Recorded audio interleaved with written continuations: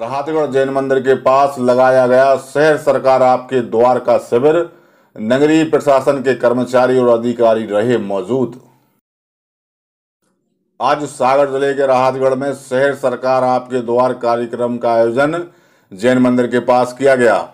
शिविर में ward number दो और वार्ड नंबर चार के निवासियों की समस्याओं का निराकरण उपस्थित नगरीय प्रशासन के अधिकारियों द्वारा किया गया।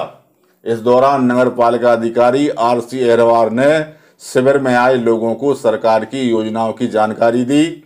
साथ ही अपील भी की, जिसमें कहा गया कि नागरिक ई नगर पालिका ऐप्स का उपयोग करें।